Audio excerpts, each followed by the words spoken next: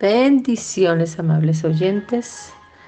Esperamos que se encuentren muy bien. Comienza una nueva semana y continuamos con el Ruach, el Espíritu de Dios.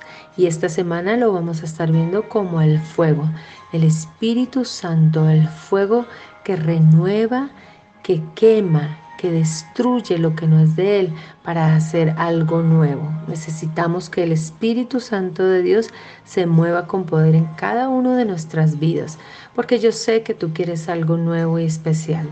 Y bueno, este es el tiempo de algo nuevo y especial, donde el Espíritu Santo quiere renovarte y restaurarte para cosas nuevas que quitemos todo lo que no es de Él y permitamos que su presencia fluya con poder. Mateo capítulo 3, versículo 11 en adelante dice, yo los bautizo a ustedes con agua para que se arrepientan, pero el que viene después de mí es más poderoso que yo y ni siquiera merezco llevarle las sandalias.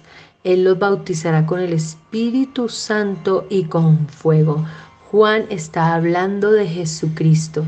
Jesucristo nuestro Señor y nuestro Salvador que vendría para bautizarnos con el Espíritu Santo y con fuego. Y así lo ha hecho hasta el día de hoy. El Espíritu Santo es fuego que aviva.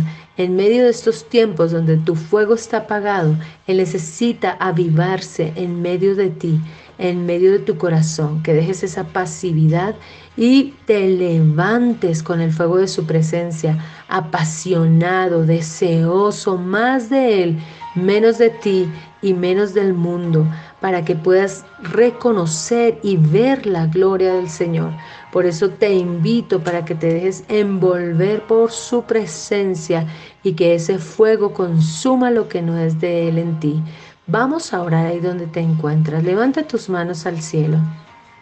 Padre, te damos gracias en esta hora Gracias Hijo, gracias Jesucristo, gracias Espíritu Santo de Dios, porque tú eres el fuego que necesitamos en estos momentos.